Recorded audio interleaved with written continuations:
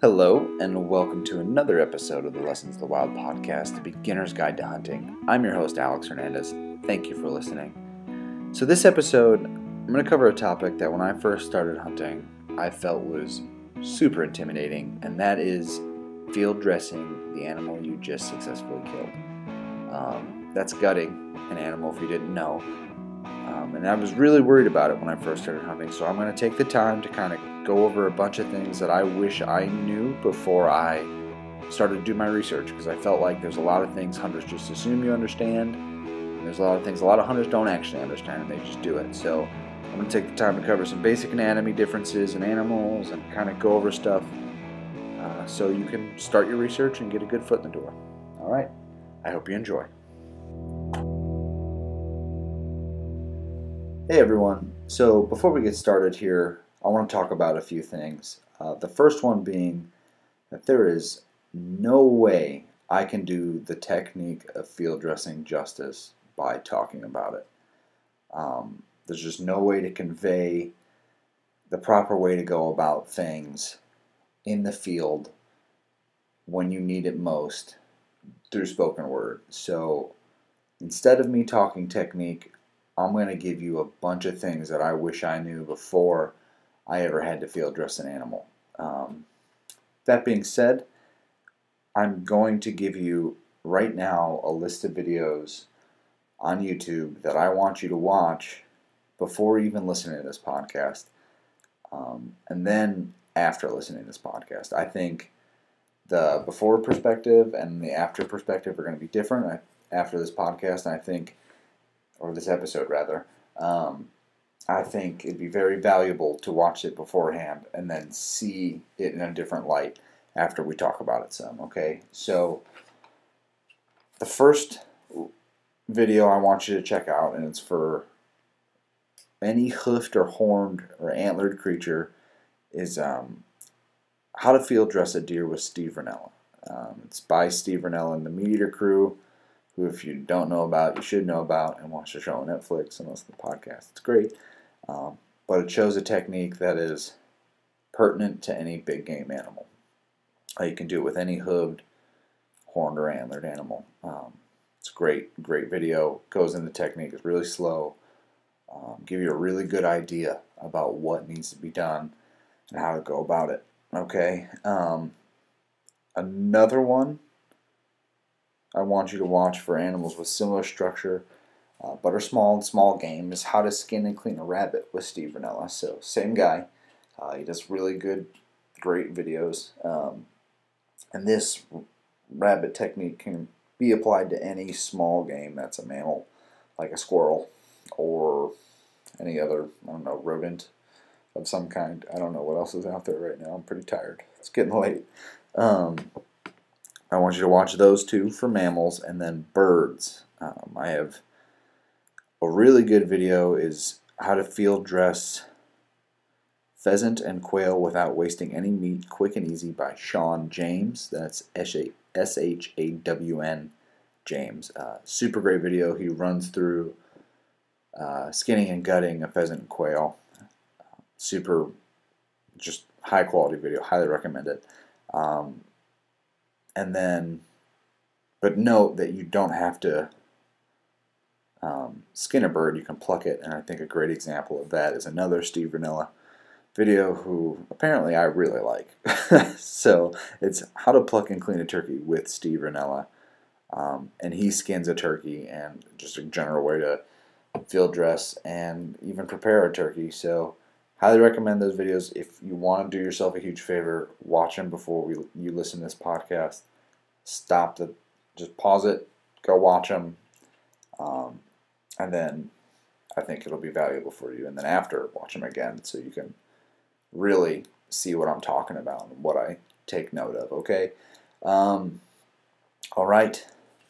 Uh, before we really get into it again, I want to tell you I'm going to be making some assumptions okay? And I'm going to give you a disclaimer of what those assumptions are.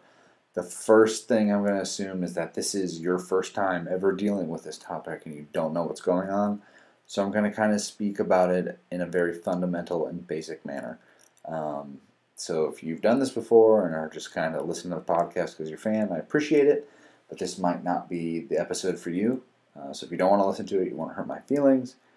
But I still think there's going to be a bunch of good information, so you might learn something. Maybe just hit the two times the speed to crank through it so it's not too slow for you. Get to the stuff that you don't know quickly.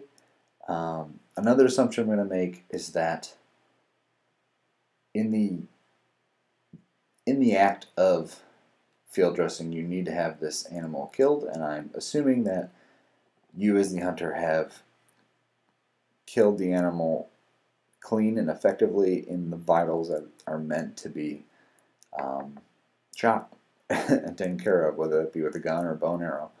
Um, because if you don't hit the vitals that I'm assuming you're hitting, and you hit, say, the guts, it can really change what you have to do for field dressing. So I'll kind of touch on that a little in here if I can, uh, which I can. I definitely will be. um, so just I'll just pay attention to that. For the most part, I'm assuming you're hitting the head, heart, or lungs, depending on which animal you're you're hunting. Birds usually go for the head. Um, and my last assumption is that the techniques I showed you in those videos are not meant for uh, taxidermy. Okay, um, I'm here strictly to provide ideas about meat harvest. Um, antlers are great and trophies are great. I'm all about them. Don't get me wrong, but uh, these techniques aren't meant for taxidermy. So, if you happen to think that you might, perchance, get a trophy animal, you definitely need to look up different techniques to field dressing because it changes things. Um, I think the most effective way is to really just call the taxidermist you'd want to use. It might be bad luck or jinxing it or whatever, but it's better to know it and know how he or she wants it done so you don't mess it up and make their life harder and spend a bunch of money and still have something funky looking. So I think that's something to take good note of. This is really just for the most basic basic and fundamental concepts of field dressing, okay? Not preserving an animal for memories. And you're just preserving the hide if you didn't know that. It's not you're not wasting any meat. Just note that, okay? All right, now that we have our little disclaimer discussion done, what is field dressing and why do we do it? So, field dressing, also known as gutting, is the act of separating the internal organs from the carcass of the animal, animal harvested immediately after the kill in the field. All right, pretty simple. Getting the organs out, putting them aside. Okay, so why do we do that? Uh, the main reason is to reduce the temperature of the remaining carcass. Um, so, why do we want to do that? Because in the act of killing, you're introducing bacteria in an otherwise sterile environment. Uh, if you didn't know that, meat and every other aspect of the body besides the GI tract and maybe the conjunctiva of the eyes are bacteria free. Um, if you get bacteria in those areas, let's just use us as an example, you get an infection or an abscess. Same thing with mammals and same thing with birds.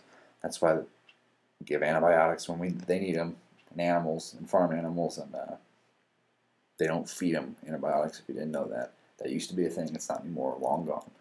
But uh, now they just give them when they're sick. Same with us. Okay. Um,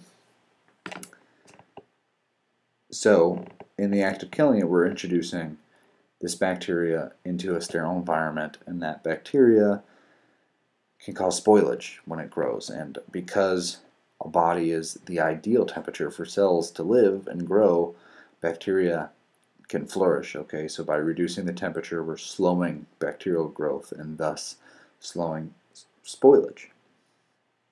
Okay, um, also, field dressing itself will introduce bacteria because everything external on the hide has bacteria covering. It's like our skin. The hide is their skin and it's meant to protect the internal body from contamination and infection. Um, so by cutting into that, we are introducing bacteria. And in the meat industry, uh, most contamination comes from poor field or slaughter, poor slaughter uh, technique and that includes dressing the animal and skinning it because a lot of animals like to roll around in their own poop, and you get E. coli that way. So uh, be careful, all right? Um, clean everything and cook everything.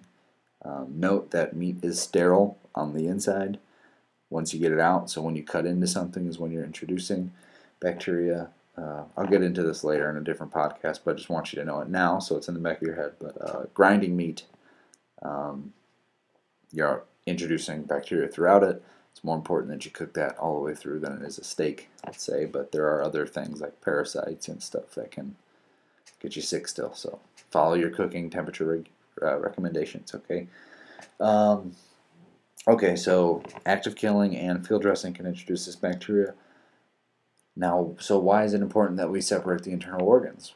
Well, like I said earlier, the GI tract of an animal, that is mouth to butt, the butthole, uh, on any animal, is the only part of the body that is exposed to the external environment. So the food of whatever the animal or we, for example, eat is full of bacteria, and our gut is thus full of it as well. Um, if you've ever heard that babies are born without any gut bacteria so their poop doesn't stink, it's true.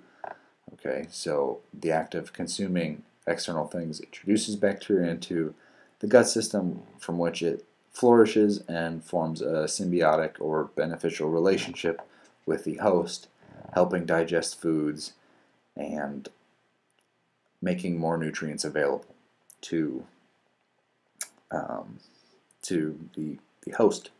Okay, so it's right here gut flora. We all have it, but if it is in the wrong place or stays in a non-modal um, GI tract too long, it will spoil the organ that it's in by consuming it and then move on to whatever's around it. So, i.e., the meat. So, we get rid of the GI tract uh, and all the other organs and get it out of that carcass as soon as we can. So, we're really just trying to prevent spoilage with field dressing and getting that temperature down. Now, there are a lot of other organs in there. Um, our second priority is usually the bladder and the urethra to get urine out of there, but urine is also sterile, so it's not really nearly as big a deal if you accidentally puncture it. But uh, it does, it, well, not, I shouldn't say sterile because it can carry viruses, but um, yeah, it's not nearly as scary, okay, as far as meat spoilage goes. Um, but there are a bunch of other organs, and people, depending on the culture that you're in, or if you're just in whatever mood, like to eat a bunch of different organs, uh, including heart, uh, liver, uh, thyroid, which is sweetbread, if you've heard of those, um, small intestine, which um, you have to clean real, real well because that's full of poopy, um, stomach, um, which is tripe, if you didn't know that, it's cow stomach, or any ruminant animal stomach, really. But just that's just notes to know. Again, we'll get into a meat processing podcast episode at a later date, but just things to know. But for, so you can focus, field dressing is still separating those organs from there, but our priorities are the GI tract and the bladder and urethra. Uh, getting those out of there to prevent bacterial spoil- spoilage. Now, the anatomy of the GI tract and the organs kind of depend on the animal. Okay, um, it varies really from species to species in minute ways. As far as let's say mammals, they're pretty much the same, but in minute ways they're all different. Um, and birds are very different from mammals, but within themselves have little differences as well. Um, but the basic concept of field dressing isn't affected by them for the most part by these things. The technique will be as far as birds and mammals, but mammals and birds have their own unique technique that usually is unaffected by differences in anatomy. Okay, um, so let's talk about anatomy. Like I said, anatomy differs between mammals and birds pretty severely, um, but the basic concepts are in general still the same. So both have an outer layer of skin cover, covered in either fur, plumage, also known as feathers, um, and the skin surrounds uh, fat, muscle, nerves, blood vessels, um, the body cavity, uh, the organs in the body, um, the brain, eyes, lungs, I said bones, liver, pancreas. Uh, and the differences really lie in the GI tract, like we talked about, uh, the number of body cavities, and the reproductive organs. So let's start with the simple one, and that's body cavities. Now, what is a body cavity? A body cavity is just where organs are contained, right? So in mammals, there's two. There's the chest cavity and the abdominal cavity. So, um, and they're separated by the diaphragm. So from our ribs, our ribs have our lungs and heart and esophagus, and at the base of our ribs, at the very bottom, is a muscle that helps us breathe called the diaphragm. And we're a mammal, and so are deer, and so are moose, and elk, and antelope, and etc., etc., squirrel, rabbit, anything that gives live birth, right? Um, and that muscle helps us breathe, but it also separates that area, the pluck, in animals in the industry, it's called, uh, from the abdominal cavity, which houses stomach, liver, pancreas, large intestine, small intestine, um, bladder, kidneys, uh, fallopian tubes of the female. Okay. Um, whereas in birds, there's just one. It's just one big thing. Okay, there's no separation from church and state. it's all one big cavity. Okay, uh, which makes field dressing different because the body cavity kind of affects the way you go about things, um, which you'll you have seen in the videos if you stopped um, and watched. Um, birds they kind of just stick their hand up in there and pull it all out, where mammals they kind of have to open up the abdominal cavity and kind of reach up into the rib cage to get the others out, etc., etc. Okay, now let's talk reproductive organs. Um, mammals obviously have penises and vaginas. If you didn't know that, I hate to give you the birds and the bees talk, kids. Ask mommy and daddy, go to health class, do what you gotta do.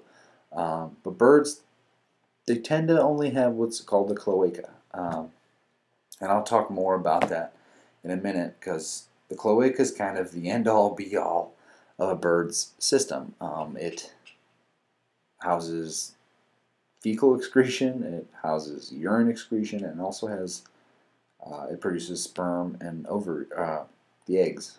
I'm gonna say ovarian. I don't think that's right. Um, I'm tired. It's like midnight, maybe one o'clock. I've been struggling getting this podcast going and organized properly, but I think I finally got it for you guys. Um, so that's something to note. And when you're field dressing um, mammals, you have to be careful severing around a penis and a vagina. They're different. It's little, it's subtle differences in field dressing, but it's something to pay attention to. And I'm sure you've seen that if you watch the videos in the Steve Rinella uh, field dressing a deer. He cuts around the penis and leaves the testicles intact on the carcass, which something you should also note that state laws require proof of sex on some animals, so pay attention to your state laws, of course, as always. Um, and another example, if you watch the same video, he also cuts around the anus. Now, on a deer, right under the anus, if it was a female, would be the vagina, and you would do the same thing. So that's something to note there. Um, but on birds, the cloaca is just a little hole under the tail, and it does everything. Okay, now there are exceptions. I think ducks might have a penis, but there's, for the most part, there's a, one hole, and that's kind of where you're going to go from as far as gutting it goes. Okay, um, and you'll see that in the Shawn James video and the other Steve Rinella turkey video. Okay, um, so that's something to know. Now, the really big difference comes.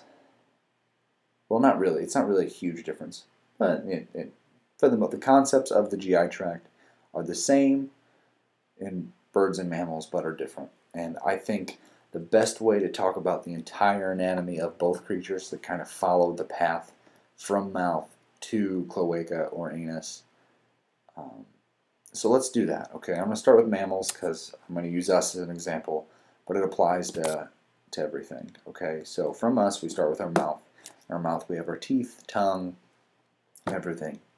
Okay, and you go down our throat, which is your esophagus, and our esophagus goes down our neck into our chest cavity.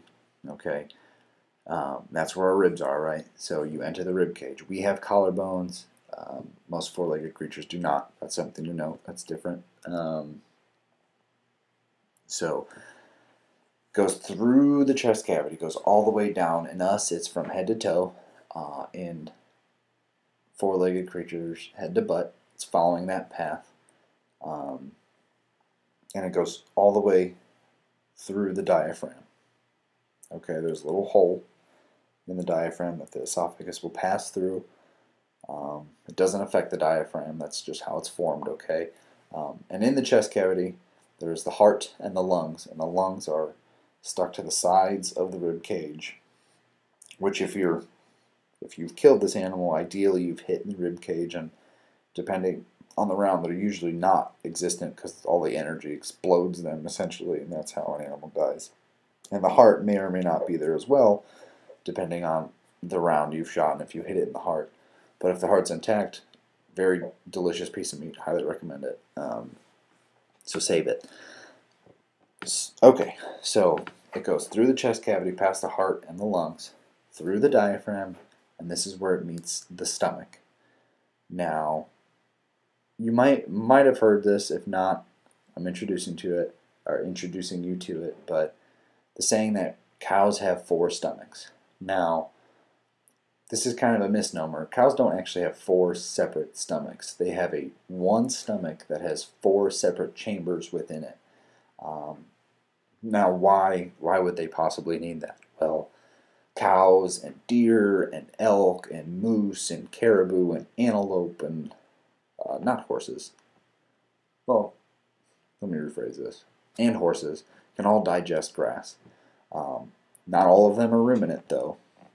Where us humans and bears and raccoons and I don't know if squirrels and rabbit, maybe rabbit can. I don't know rabbit's anatomy, but we can't, for the most part, digest grasses because there's too much cellulose and we can't break it down. But ruminant animals, Horses are not ruminant, something to note, and I don't know if goats and sheep are or not. I'm pretty sure they are. But um, ruminant animals will have these chambered stomach, which allow them to intake these grasses, um, go through a set of chambers, and between each chamber they regurgitate and then will chew this food further. And typically you'll hear a beer, uh, excuse me, a deer go and bed down to chew his cud. Now, cud is just that regurgitated grass and what other other cellulose ridden plant that he's chewing on or she's chewing on. Okay, and cows usually just lay down and you see them chomping away at it. And it takes a long time, but they're able to draw energy from things that we as other mammals cannot do. So, um, any mammal that chews chews on cud is considered a ruminant animal or an ungulate. I could be wrong here, I could be misspeaking, but they're definitely ungulates, okay? Uh, but rumination is the process of breaking down cellulose to get energy from. Okay, and it's uh, it's just still one stomach though, and that's what I want you to know. So you just got a little little confusing aspect here, so let's kind of go back. So this chambered stomach is all within one stomach. So again, esophagus, we go mouth to throat, which is our esophagus, through the chest cavity, through the diaphragm, to a stomach of some kind. Okay? All that chamberedness doesn't matter as far as field dressing goes. That's just a little tidbit that you should know for your basic animal knowledge. Okay? Now, from the stomach, the stomach processes food and then it goes into the small intestine. Okay, which, if you've ever seen the picture of human organs. It's the long, tangly one that they say if you stretch across whatever, it'll go a mile or whatever. It's nonsense, but um, it's small, it's thin, and it's just a bunch of tangles, and it looks like a mess. Um, the beginning of that is called the duodenum, and I'm, that's just basic anatomy stuff you should know. And then there's the pancreas surrounding that and connected to it. Um, it's not important. But the liver and gallbladder are also connected to it, and the gallbladder puts bile into the small intestine, which helps emulsify fats and digest things further. Um, Only thing to note there is that if you want to keep the liver, you have to separate the gallbladder from the liver, or else it'll spoil it and it's going to be gross. You generally don't freeze liver. Again, meat processing, I will get to later. Keep it in the back of your mind. But the same, the tube is still from stomach to small intestine, and those are just accessory things. Now, from the small intestine, you enter the large intestine, which kind of, if you look at the human anatomy, wraps around the small intestine. Um, and that includes your colon, okay? Your large intestine, the end of it is called your colon, which leads to the rectum. Now, at some point, the ureters will connect the large intestine to the kidneys. Um, so the large intestine's job is to take water from the, whatever we eat or drink and give it to the kidneys to filter, and the kidneys will intake or get rid of excess water or ions or whatever it needs to do, and then send it to the bladder, which is separate from the GI tract but attached to the kidneys. So there is that weird, like, two degrees of separation, right? Um, so if you remove the GI tract, you're not going to spill urine, but if you puncture the bladder, you will. But uh, that's just something to know. Okay, and from the bladder, you have the urethra to either the vagina or the penis. Okay? I'll let you know that. So the active field dressing is taking that tube out. Um, some some people cut up the throat and remove the esophagus all the way through. Some people just cut the esophagus um, at the top of the rib cage, not the diaphragm. Um, whatever. Uh, some things to note. Um, all the organs in a mammal are attached to the back side of the cavity, so the spine side, by connective tissue, and it makes your life a hell of a lot easier to sever that with your knife in bigger animals. Okay, and you just easy pulls away. Um, something to also note is just cut the diaphragm out um, before you start tugging on those organs in the chest cavity because that diaphragm will um, keep you from getting those organs out easily. Something also to note in bigger animals like elk and moose, you can keep that diaphragm. That is the skirt steak. Again, sorry, jumping ahead of myself. But if you're at this point, good to know. Okay, so that is the basic anatomy of a mammal. Now that applies to deer, squirrel, rabbit, um, and the concept of removing it is all the same. And if you've seen the videos, rabbit applies to squirrel as well. I'm sure there's other rodents, but it's all the same, right? There's, I'm sure there's differences and there are nuances too, but it doesn't matter because you just need to get them out and the GI tract is where all the bad stuff is, so avoid puncturing it. Now, let's say you take a shot on a deer and you hit the guts. Um, that's not good. One, because it spills all that stuff into the abdominal cavity um, and the chest cavity, more than likely. And in that system, there are a bunch of enzymes that help digest the things that we're made of, right? We're it's all full of acid and enzymes that break down proteins and can spoil meat even quicker. So if that happens, one, that animal is going to be stressed out and that affects meat taste. Again, getting ahead of myself, but um, you have a higher chance of spoilage. So if it's a hotter temperature, you need to be quick. Um, you need to know that animal's dead. You don't want to push it. You, you just run the risk of spoiling meat. Okay, and it happens. It happens a lot, and it happens to a lot of people. Um, hasn't happened to me yet, thankfully, but it's bound to. Okay, so don't feel like it's the worst thing to ever happened. It sucks. It does not feel good. I've, you get very upset. I've almost had that happen. I thought I did, and it felt terrible. But um, yeah, it can it can go bad. So just know you have to rinse that out with water thoroughly, and you might have meat loss. So just expect it.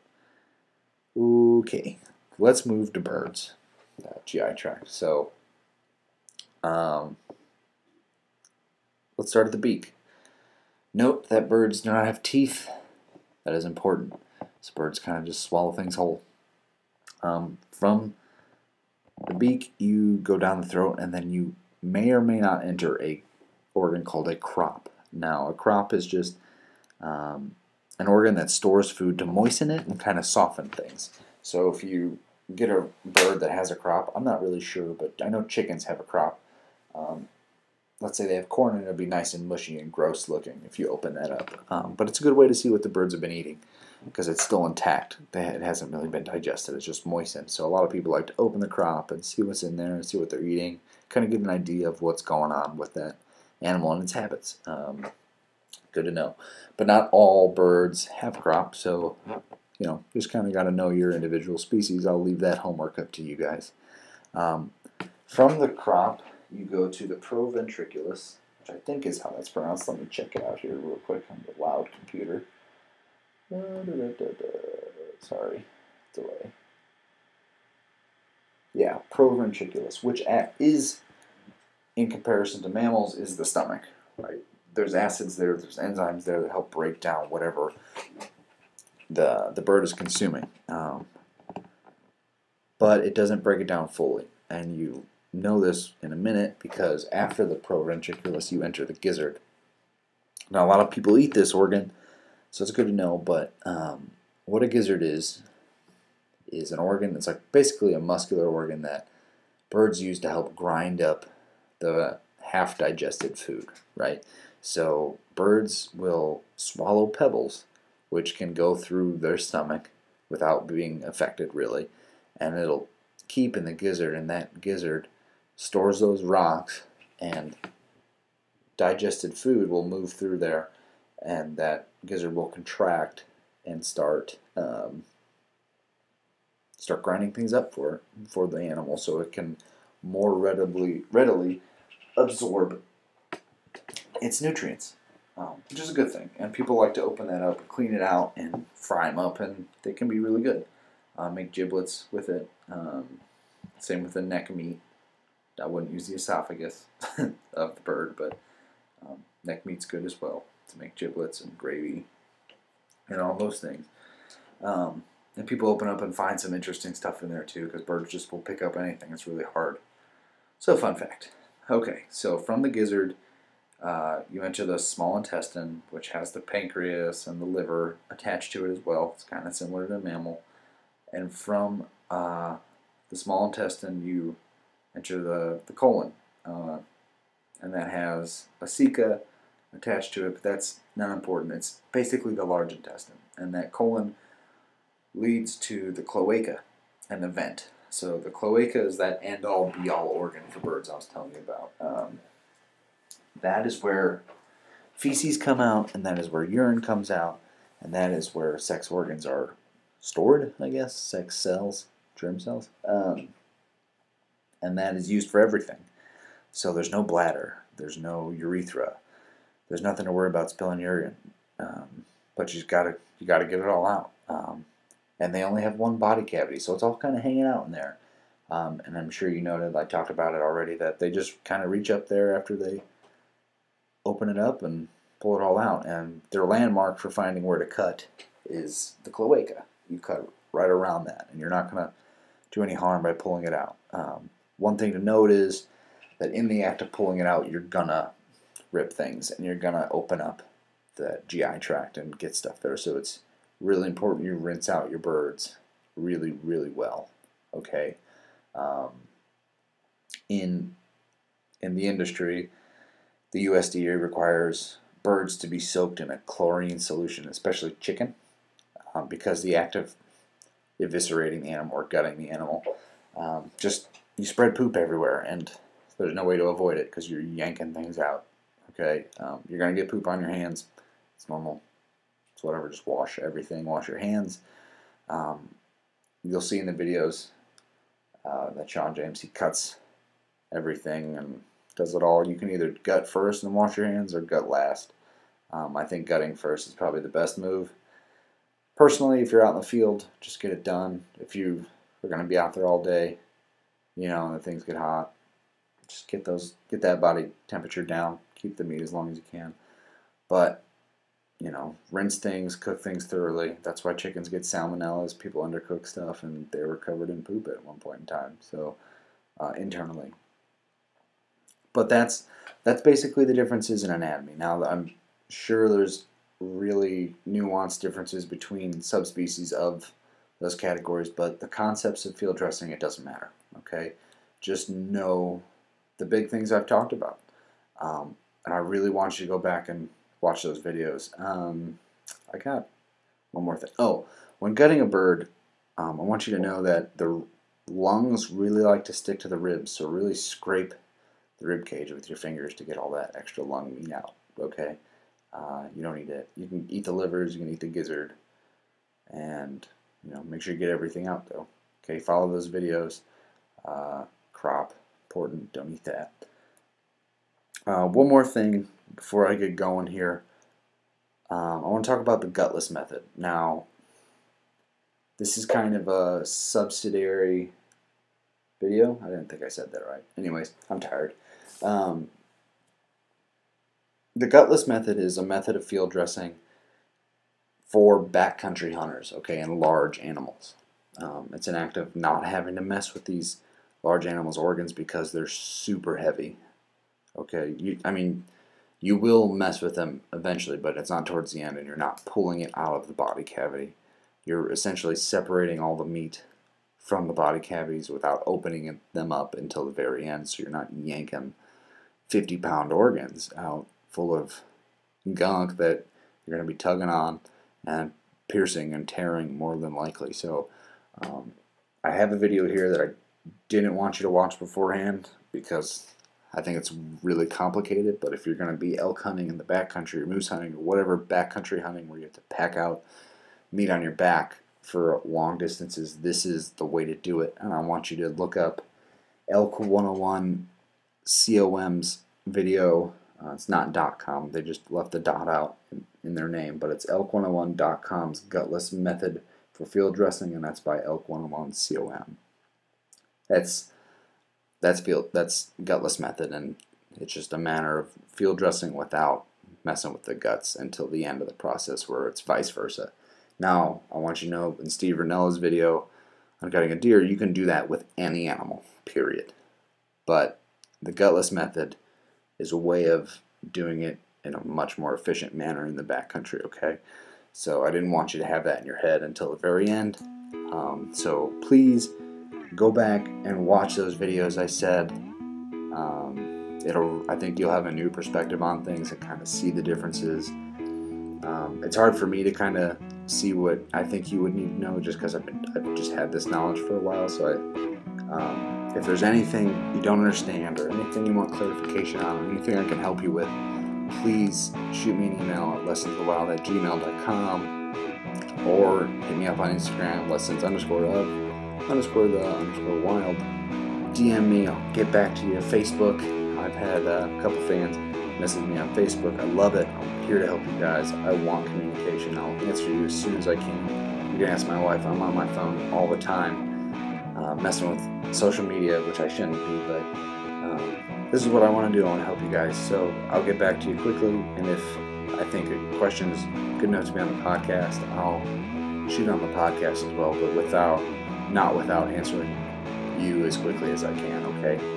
Um, hell, if you really don't understand what I'm saying, I'll give you a call, I'll FaceTime. Um, that probably won't hold if I get a bunch of followers, but right now I can do that. Um, so please hit me up if you have any questions at all. Um, if you guys would do me a favor, I'm really trying to grow this following. I've had a lot of good feedback. If you want to send me feedback, even if it's I think you're an idiot and you don't, you shouldn't be doing this, I'd love to hear it. Um, share it with your friends share with your family, share with anybody you think would be remotely interested in hunting. My goal is to make hunting more accessible to everyone. So if you want to be a good fan, good friend to me, I'd really appreciate it, okay? Alright, everyone. Have a good evening. Thank you for listening.